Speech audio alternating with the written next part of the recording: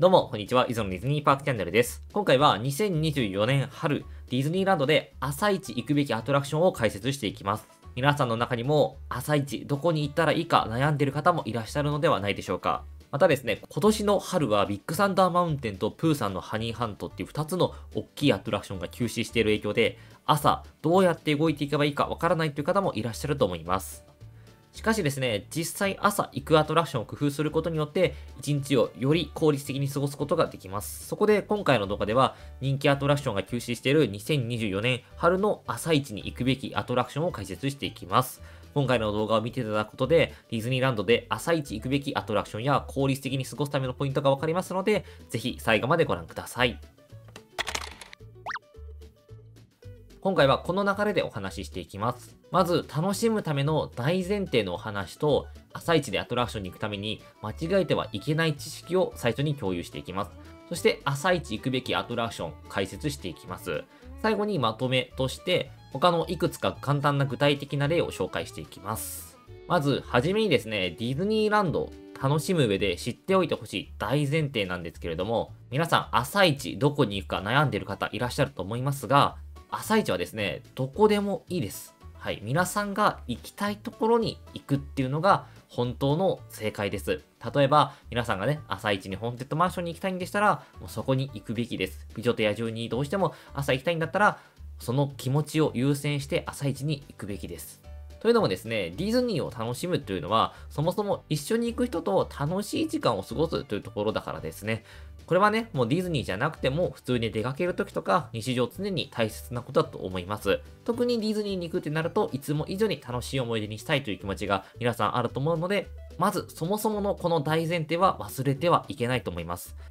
これから効率的に過ごすためには朝一どこに行くべきかという話をしていくんですが、効率的に回ることで待ち時間を減らしたり、たくさんアトラクションに乗れたりと、いい空気になりやすいっていう点はね、あるんですけれども、逆にこの効率性を重視しすぎて、もう行きたくないところに連れてっちゃったり、乗りたいものに乗れなかったり、世話しない一日になって空気が悪くなって楽しくなくなっちゃうって可能性もあります。なので、朝行くべき一番の正解は、皆さんご自身で相談して行きたいところに行くというところになります。こちらはしっかりと踏まえた上で、そのね、相談の過程とかアイディアの一候補として、これから紹介していく内容を参考にしていただければと思います。今回の動画では、1日を通して効率的に回っていきたいアトラクションにたくさん乗ることを目的としている場合、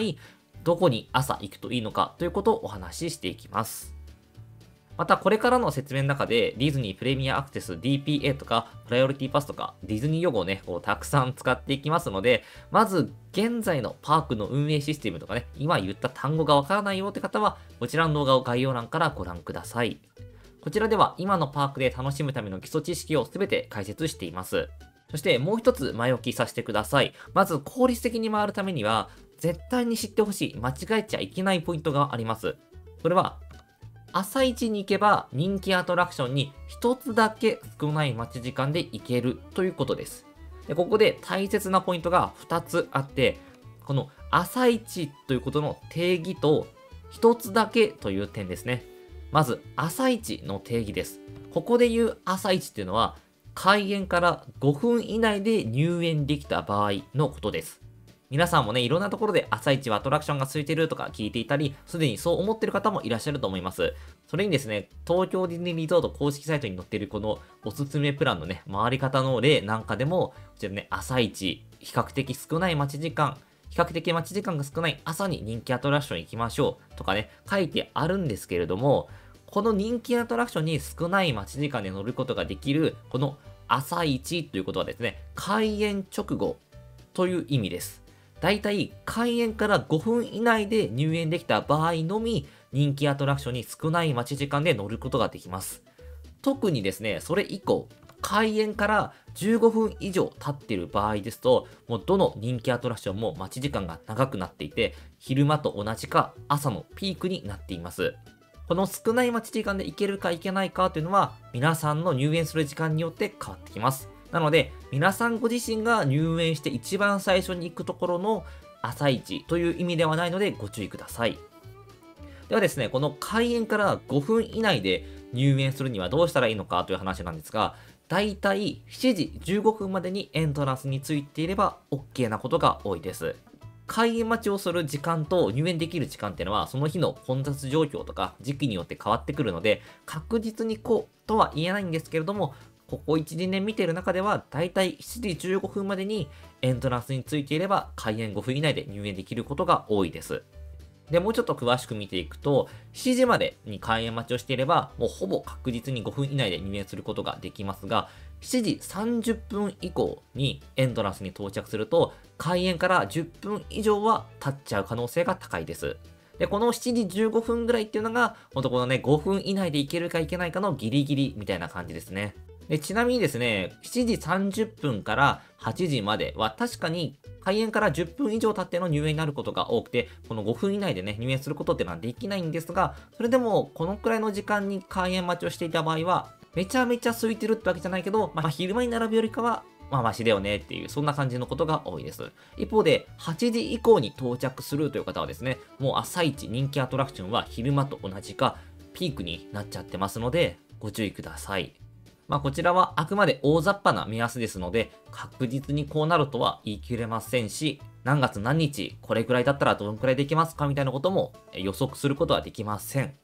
ただ、この場で確実に言えることとしては、朝一少ない待ち時間で人気アトラクションに乗りたい方は、7時までの開園待ちを目指していきましょうということです。ちなみにこの8時以降に到着するよとか、開園から15分以上経って入園する場合ですね、朝どうしたらいいのというと、皆さんの入園時刻によってはまだ空いているところがある場合もありますが、ここでね、ちょっとそれについて詳しく喋ってしまいますと、もうそれだけでね、動画1個作れちゃうぐらいもう話がバーって広がっちゃうので、気になる方は以前投稿しているこちらの動画を動画の概要欄からご覧ください。また、朝一に行けない場合の例として、10時の入園でアトラクションにどれぐらい乗ることができるのかという動画も次回投稿いたしますので、気になる方はぜひ見逃さないようにチャンネル登録してお待ちください。そして2つ目のポイントは、朝一1つだけ行けるという点です。先ほどお伝えした通り、開園から15分以降では、どのアトラクションも混んじゃってます。で、人気アトラクションは大抵所要時間が5分くらいかかりますので、入園からアトラクションへの移動、アトラクションからアトラクションへの移動の時間を考えると、1つ朝一一つ乗り終わった頃には、もうね、他の人気アトラクションは混んでる時間帯になっちゃいます。まあ、ただ、例外としてですね、すんごく細かい話なんですけど、ホテル宿泊者、ハッピーエントリーを使って、バズとスペースマウンテンの2つだったら、朝一2つ乗ることできると思います。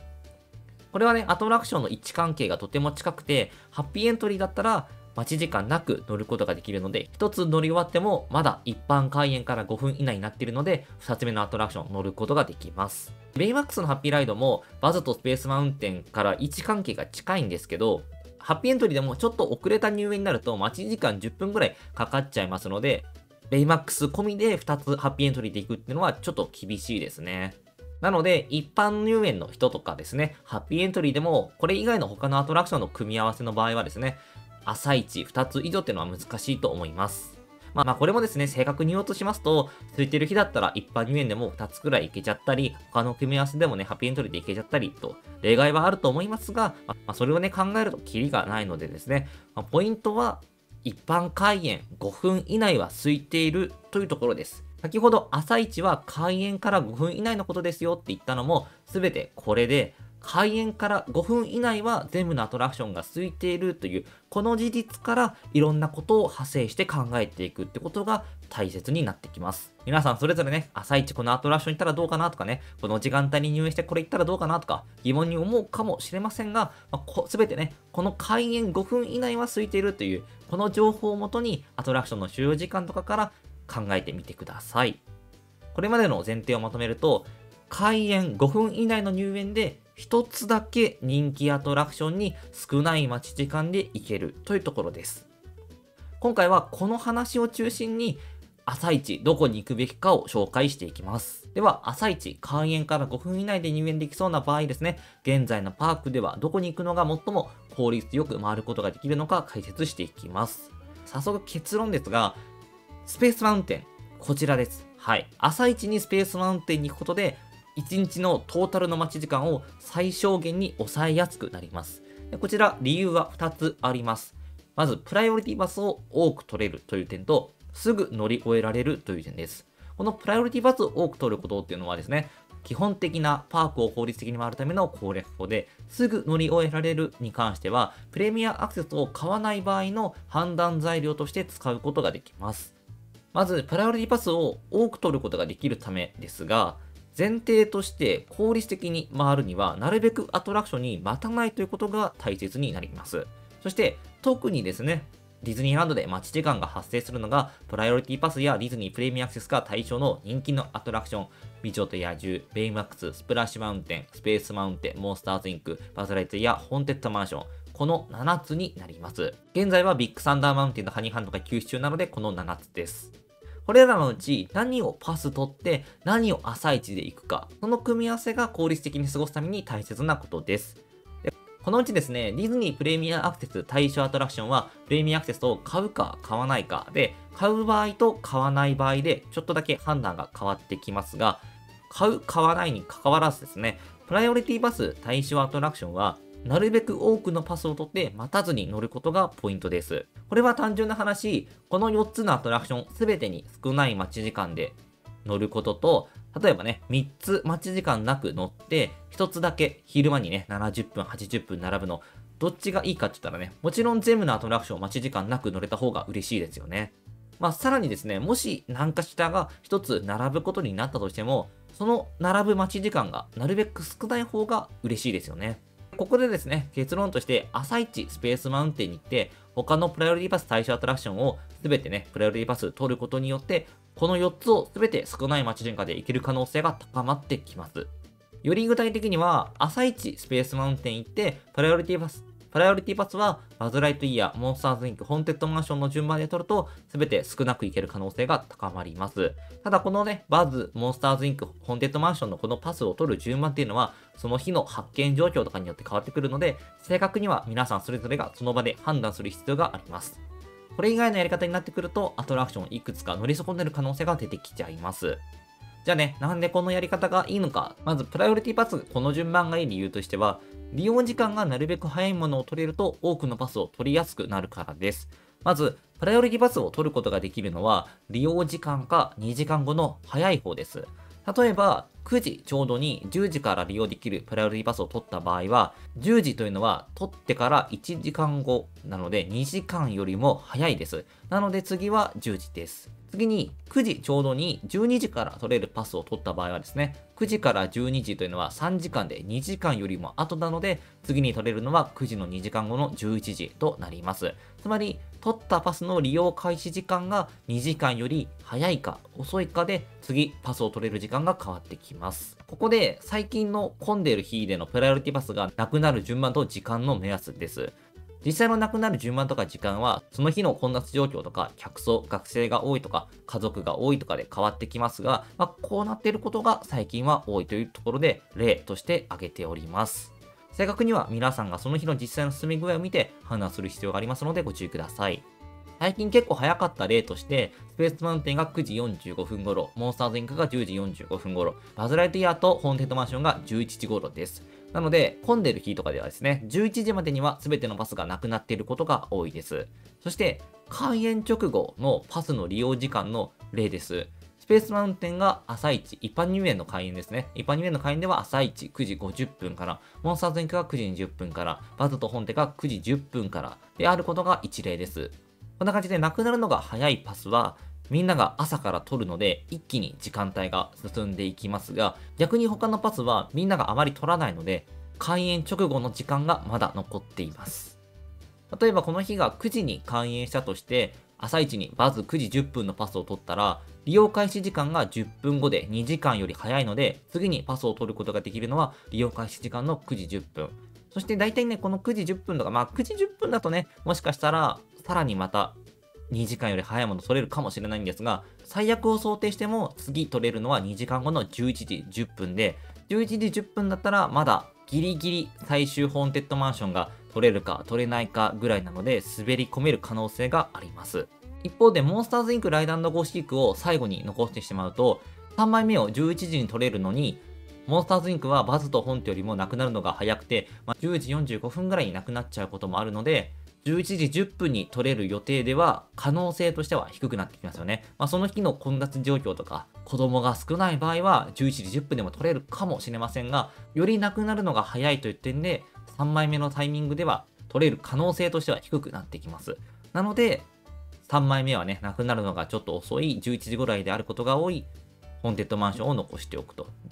1枚目はすぐ2枚目が取れる利用開始時間がすぐ直近のもの。2枚目以降はなくなるのが早いものを取っていくことがプライオリティパスの効率的な取り方です。ちなみにこの場合ですね、バズレテイヤーのアストロブラスター9時10分で取ってますが、スペースマウンテンを最初に取ったとしても9時50分と2時間より早いですよね。ただ9時50分利用のものを取ると2枚目取れるのは9時50分。そして3枚目はそこから2時間後の11時50分と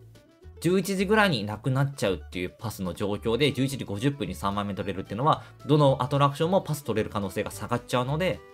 ダメですよね。こんな感じで、なるべく1枚目のパスは利用開始時間が早いものを取ることで、多くのパスを取りやすくなります。そしてこの進みの速いスペースマウンテンはですね、朝一で行けばすぐ乗ることができるので、朝一で乗ってしまいましょうというお話です。繰り返しですが、この時間帯はあくまで一例ですので、実際は当日はね、全然変わると思います。ただ、この傾向であることは変わらないです。当日はですね、皆さんが行った時の発券状況を見て、バズ・ライトイヤー、ホンテッドマンション、モンスターズ・インク、どのパスが一番直近なのかっていうのを皆さんご自身で判断して、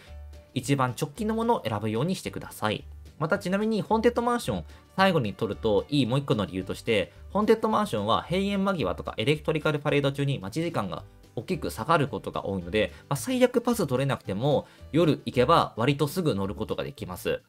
で、バーズライトイヤーのアストロブラスターも、ホーンテッドマンションほどじゃないんですけど、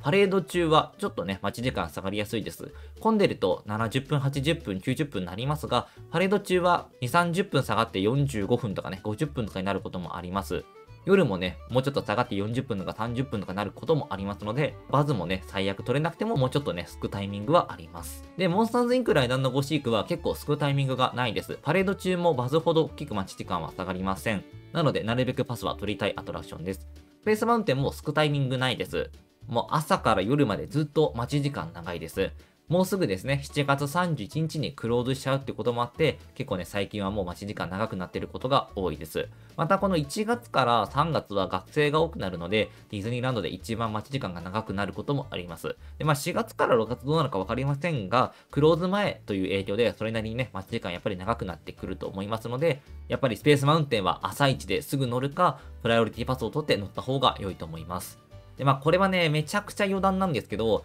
まだね、発表されてませんが、もしかしたらの可能性として、スペースマウンテンが4月の後半、ゴールデンウィーク手前くらいから、ディズニープレミアアクセスの対象になる可能性があります。まあ理由はね、ちょっと喋ると長くなっちゃうので言いませんが、まあそういう可能性があります。まあその場合はですね、基本的に根本的なことは変わらないので、まあ朝一スペースマウンテン行きましょうという話は変わらないんですが、また改めて要望が多ければ動画を投稿したいと思ってます。はい、こんな感じで現在のディズニーランドでは朝市スペースマウンテン、他のアトラクションをプライオリティパス取って乗ると効率的に過ごしやすくなります。今度ですね、この朝一スペースマウンテンとパス取っていく様子、実践した動画を投稿する予定ですので、気になる方は見逃さないようにチャンネル登録してお待ちください。そしてここでですね、ディズニープレミアアクセス対象のアトラクション。乗りたいやつ、プレミアアクセスを全部買うんだったら、もうさっきのでね、全部推定タイミングで乗って、プレミアアクセス対象アトラクションもね、全部プレミアアクセスでついて乗って、もうハッピーエンド終わりなんですけれども、プレミアアクセスを買わない場合ですよね。その場合は、朝一でプレミアアクセス対象アトラクションに行くか、先ほどのスペースマウンテンに行くか、どっちか考える必要があります。で、結論ですね、ディズニープレミアアクセスを買わない場合はですね、ペースマウンテンかプレミアアクセスのどれか一つ、もうどれでもいいです。この4つのうちどれでもいいです。皆さんが朝一、これ朝一で言ったらテンション上がるなみたいなものを選んでいただければ OK です。この後でも解説しますが、どれ選んでも1日のね、トータルの待ち時間はもうほとんど同じであることが多いので、効率性の面ではほとんど同じです。まあ、ただですね、それでもさらに細かく考えていくと、小さいアトラクションを含めてたくさん乗っていきたいよって場合は、スペースマウンテンに朝一に行く方がいいです。で、これが2つ目の理由。すぐ乗り終えられるためですね。ディズニープレミアアクセスを買わない場合は、朝一にスペースマウンテンに行って、プライオリティパス対象アトラクションを全部取って、プレミアアクセス対象アトラクションは全部通常に並ぶか、朝一プレミアアクセス対象アトラクションのどれか1つに行って、スペースマウンテンと他2つパスを取って、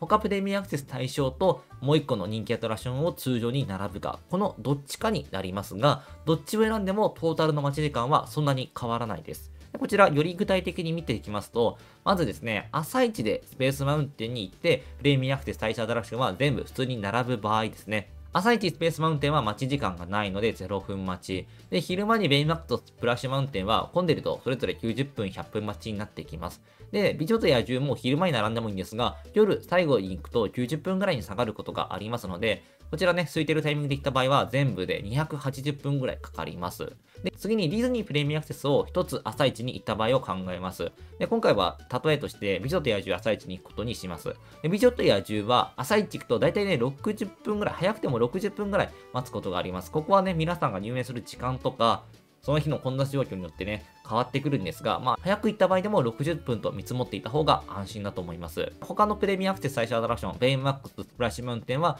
昼に行って、まあ上と同じですね、90分、100分待ち。で、ここでスペースマウンテンはプライオリティバスを取った方がいいので、昼間にプライオリティバス取って待ち時間なしで行くので、ここでは映っていません。プライオリティバス対象アトラクションをね、取れるのは4つのうち、だいたい朝から行ったら3つ、取れて3つなので、対象アトラクションの中で日中待ち時間が一番少なくなるホンテッドマンションを、まあ、取らずに夜乗ることとします。ホンテッドマンション夜行けば、少なくとも30分ぐらいになることもありますので、30分としています。その結果、これ待ち時間全部足すと、まあ、280分と大体同じぐらいになります。で、まあ、正確にはですね、皆さんが行くタイミングとか時期とかによって、それぞれ待ち時間がね、上下してくるので、まあ、10分、20分差は生まれると思いますが、まあ、そこまでね、正確には読めないので、まあ、誤差の範囲だと思います。で、気になる方はですね、ベイマックスのハッピーライド朝一行った場合とか、いろんな組み合わせで試してみてください。だいたい280分プラマイ10分、20分ぐらいになってきます。なので、で朝一スペースマウンテンに行っても、朝一プレミアアクセス対象アトラクションに1つ行っても、トータルでかかる全体的なね、人気アトラクションの待ち時間っていうのは同じになってきます。ただここでスペースマウンテンは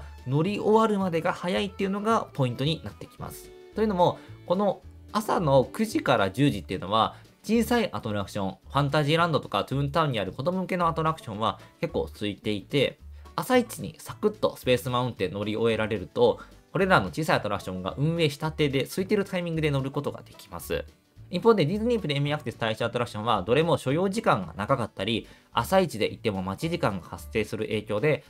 乗り終わった際にそれら小さいアトラクションが空いてるタイミングっていうのを逃しちゃいます。例えばこのスペースマウンテンは乗ってから降りるまで5分ぐらいなので、9時に乗っても9時半までに乗り終えることができて、その後ね、ファンタジーランドとかトゥーンタウンで小さいアトラクション1個か2個少ない待ち時間で乗ることができます。一方ですね、9時に美女と野獣に朝一で行って60分待った場合ですね、美女と野獣はアトラクションの体験時間も25分ぐらいあるので、乗り終わりが10時30分ぐらいになっちゃってます。また、スプラッシュマウンテンは朝一で言ったら待ち時間10分ぐらいと短いんですが、体験時間が結構長くて、入ってから出るまで30分ぐらいかかるので、まあ、乗り終わったら10時手前ぐらいです。ベイマックスのハッピーライドも最速で行って30分待ちぐらいなので、乗り終わったら10時手前ぐらいで、まあもしかしたら1つくらいは小さいアトラクション1個行けるかもしれないんですが、結構混み始めてくる時間帯になっちゃってます。で、こういう小さいアトラクションをいくつか乗っていきたいよって場合は、朝の空いてるタイミングで行けば待ち時間少なく乗れるんですが、朝の空いているタイミングを逃しちゃった場合は、これはね、昼間に20分とか30分ぐらい待たないといけないです。ってなってくると、このちっちゃいアトラクションに20分、30分待つ時間帯が、この合計の待ち時間からプラスアルファされるので、まあ、結果的に見たら、まあ、めっちゃ細かい話ですけど、全体的に見たらこっちの方が待ち時間が長くなっちゃいます。まあ、でもですね、これとこれね、どっちでも同じだよっていうには、まあ、一つ理由がありまして、それぞれ一長一短です。はい。ちっちゃいアトラクションに少ない待ち時間でたくさん乗っていきたいよって方はですね、朝一にスペースマウンテン乗った方がいいんですが、その場合は、昼間とか夜にこれらのプレミアアクセス対象アトラクションに90分とか100分とか全部長い待ち時間待たないといけないです。なのでね、これはまあ人によってはですね、90分3つ待った方がいいのか、まあ、60分、90分と、まあ、20分、30分をね、ちまちま乗っていくのがいいのかとか、どっちが魅力的か、それぞれ皆さん感じるところはあると思います。まあ、僕のね、個人的な感覚としては、所要時間が1分とか2分のちっちゃいアトラクションは10分以上待つと、こんなに待ったのにこれだけみたいなね、感じになっちゃうので、ファンタジーランドとかトゥーンタウンにある小さめのアトラクション、白雪姫とか、ピノキオの冒険旅行、ガジェットのゴーコースター、アリスのティーパーティーとかなんかですね、もうサクッと乗れちゃった方がいいので、僕は朝一スペースマウンテンに行って、ついでにちっちゃいアトラクションもいくつか乗って、お昼にがっつり待つという流れの方がいいんじゃないかなと個人的には思ってます。まあ、なので、ここに関しては皆さんがそれぞれ何に乗りたいのかによります。というわけで結論をまとめますと、朝一にスペースマウンテンに行くことで、プライオリティパス対象アトラクションに多く乗ることができたり、全体的な効率が良くなるというお話でした。で、まあ、個人的にはですね、朝一スペースマウンテン行って、プライオリティパス全部取って、プレミアアクセス対象アトラクションはね、もう全部買っちゃうみたいなね、もうこれがやっぱ最強だと思います。もうこうすれば全ての人気アトラクション待ち時間なく乗れるので、もう全然余裕に不便なく過ごすことができます。今回は全ての人気アトラクションを含めてたくさん乗る方法で考えたんですが、実際にはですね、皆さんそれぞれで乗りたいアトラクション、乗らなくていいアトラクションあると思います。そして皆さんが入園する日の混雑具合とか入園する時刻、その時の朝一の待ち時間というのはもう全部バラバラで、それを考えると本当に皆さんにとって最適な動き方というのはですね、可能性無限にあるので、ここでね、全部お伝えするってことはできません。なので、大切なのは今お伝えしたなるべくプライオリティパスをね、たくさん乗るための考え方とかですね、これらの考え方を頭に入れて皆さんそれぞれの場合で考える必要があります。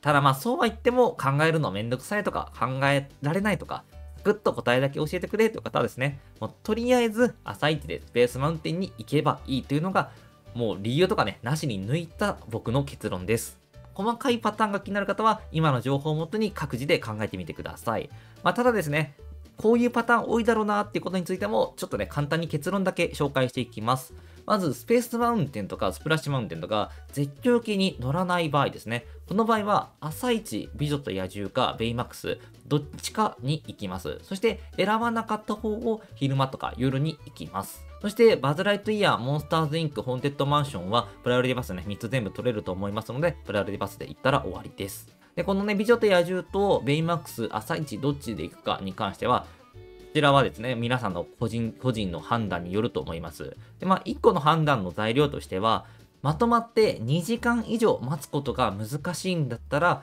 朝一美女と野獣に、まあ、60分ぐらい待ち時間はあるかもしれないんですが、朝一行っちゃった方がいいです。で、他のファンタジーランドとかトゥーンタウンとかの小さいアトラクションもたくさん少ない待ち時間で乗っていきたいよって方は、朝一ベイマックスに行くのがいいと思います。で、まあ、ここもですね、ディズニープレミアアクセスを買うってなったら、もう無敵ですね。心配無用です。そして次に、到着が8時以降、朝一空いてる恩恵を受けられないという場合ですね。その場合は、もう入園してすぐは人気アトラクションどこも混んじゃってるので、まあ、特別行く場所はないです。まあ、並んでもいいんですけど、隣別にお得ではありません。で、もし、10時までに入園するという方は、小さいアトラクションはいくつかついているので、朝一それに行くっていうのもありだと思います。で、10時以降の入園になるという方はですね、どこに行っても混んでいるので、まあ、どこに行っても同じです。10時以降の入園でアトラクションたくさん乗っていく方法はですね、この後次回僕の動画で投稿いたしますので、ぜひ気になる方は見逃さないようにチャンネル登録してお待ちください。